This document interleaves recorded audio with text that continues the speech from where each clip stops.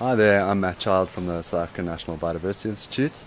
I'm Alta de Vos um, from the Environmental Science Department at Rhodes University.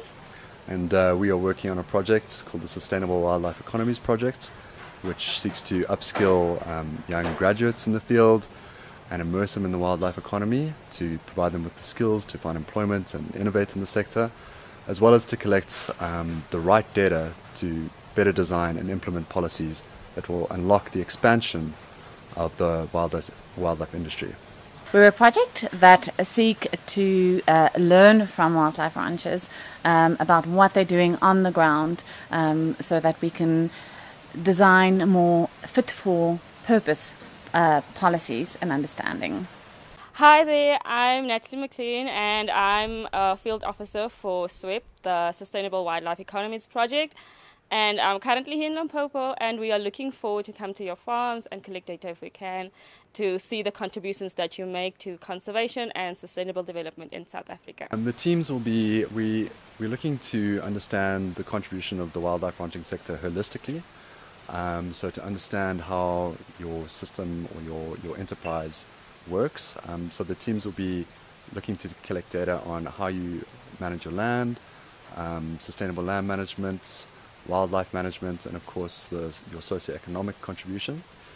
Um, and that will be to help um, us establish what the viable business models are for the industry and the diversity of models out there so that we can better invest in infrastructure, um, skills development programs um, that would help expand the industry and um, bring more people into the industry.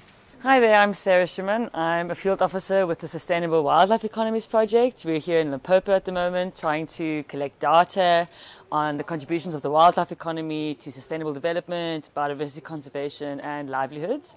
And we're on the ground just trying to figure out what's going on um, at game ranches like yourself that we can hopefully come and visit. So we recognize that in real life you can't really separate socioeconomics from conservation, from um, sustainable development, various dimensions of sustainable development. And so, what we're really interested in finding out is how all of these components work together um, and what kind of trade offs um, are inherent in making certain decisions about how you manage your land um, or what kind of practices or land uses um, are happening um, on your property. Hi, my name is Sisi Pompotulo and I'm from the Eastern Cape in Umtata and I'm a field officer uh, with the Sustainable Wildlife Economies Project. Exciting. and we are currently in Limpopo and we are excited to, to we want to collect data uh, to get the info to understand what you are doing on the ground as the wildlife ranchers and thank you and the main thing to learn from you, to meet you, to understand how we can do research better, um, design policies better, and of course, how we can bring more youth into the sector so that it's a positive contribution to South Africa in the future.